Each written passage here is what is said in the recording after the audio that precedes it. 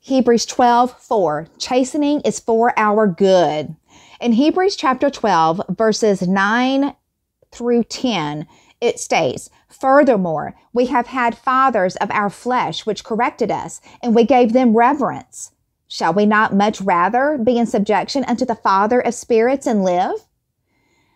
For they verily for a few days chastened us after their own pleasure, but he for our profit, that we might be partakers of his holiness.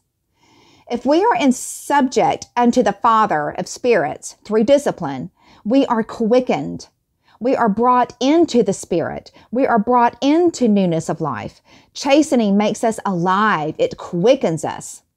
When I punish my kids, I am sometimes angry and I want to deal with the infraction right now. It is more for my satisfaction to know my son got it so he will not do that thing again because it really makes me mad. That is not how God does it. When he disciplined, he does it in supreme wisdom and grace, knowing exactly what it is that we need. I know from experience that the scariest discipline is when he is silent. You do not even know you were going through it. He just lets you go on and explore something that is repugnant to him, but to which you are blind.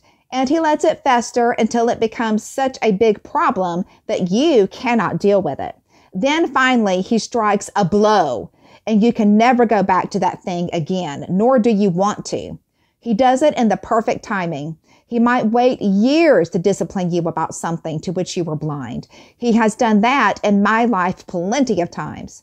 But he does it for our profit, and it is never out of anger for his own sake to gain some sense of justice. He does not punish his children for the sake of justice. No, it is always for your training and to make you a partaker of his holiness. And no, it does not seem to be joyous when you go through it. It grieves you. But afterwards, it yields a peaceable fruit of righteousness to those who are exercised thereby. I am in a new season right now after all the pruning I endured last year. I have really enjoyed the grace of God this year and have wonderful peace. I have been in a season of fruitfulness. However, he could purge me again. He says if we bear fruit, he will purge us so we can bear more fruit.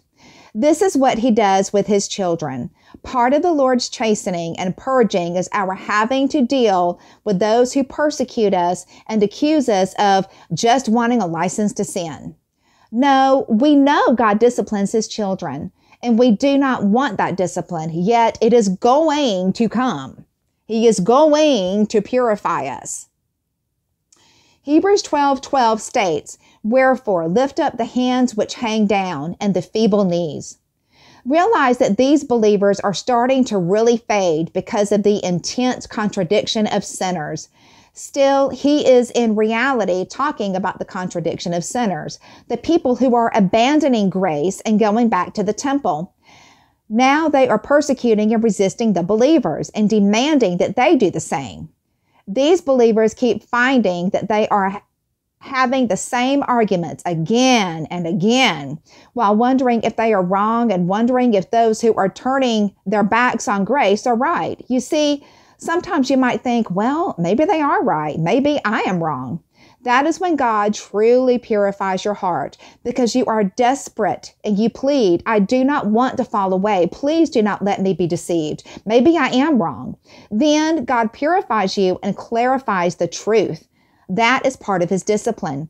But these believers' hands were hanging down. Their knees had become feeble and they were discouraged. However, they needed to keep running.